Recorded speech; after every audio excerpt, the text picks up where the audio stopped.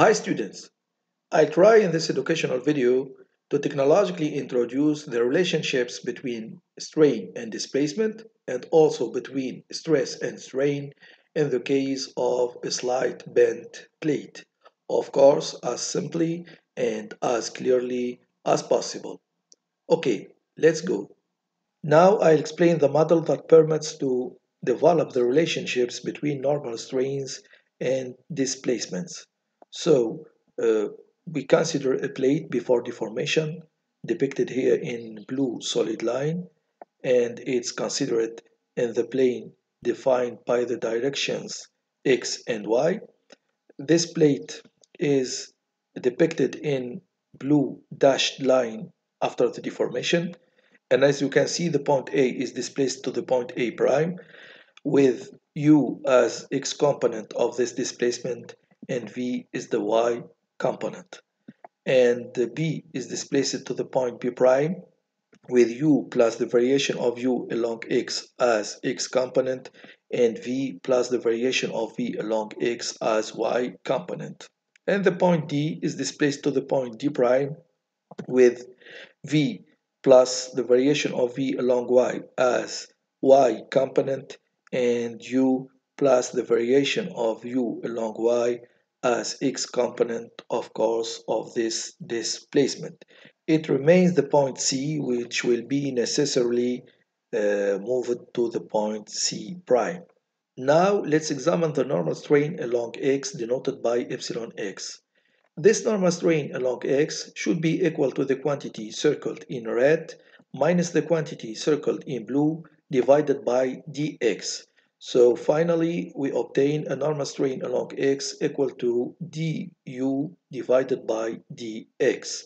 So we can say that the normal strain along x is the variation of the x component of the displacement along the x direction.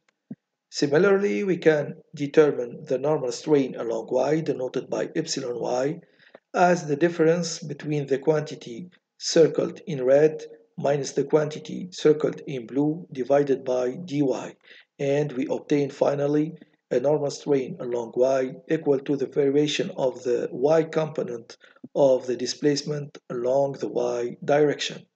Now I'll explain the model that permits to develop the relationship between shear strain and displacement.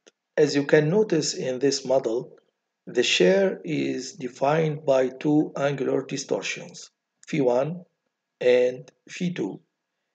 And uh, the shear strain xy is the sum of phi1 and phi2.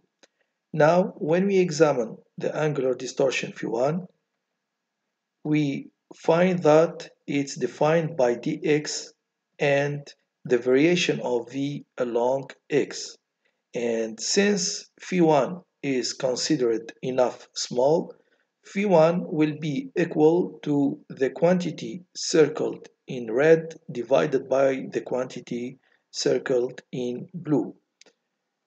Similarly for phi2, phi2 is considered small enough and it defined by dy and the variation of u along y and it's equal to the quantity circled in red divided by the quantity circled in blue since as I said it's considered small. So phi2 is expressed as it is indicated in this slide. And the shear strain xy will be the sum of course of phi1 and phi2 and will be finally equal to the variation of v along x plus the variation of u along y. Finally, we can say that the shear strain in the plane xy is uh, equal to the sum of the variation of the y component of the displacement along the x direction plus the variation of the x component of the displacement along the y direction. Now, for the stress-strain relationships, you can notice that the normal stresses sigma x and sigma y are expressed in terms of mechanical properties of the plate and the normal strains epsilon x and epsilon y and the shear stress tau xy is expressed also in terms of the mechanical properties of the plate and the shear strain gamma xy. And inversely, we can express the normal strains epsilon x, epsilon y in terms of the mechanical properties of the plate and the normal stresses sigma x, sigma y, and also the shear strain gamma xy is expressed in terms of the mechanical properties of the plate and the shear stress tau xy. That's all for this educational video. Please mention all your remarks and suggestions in the comments. Thank you very much.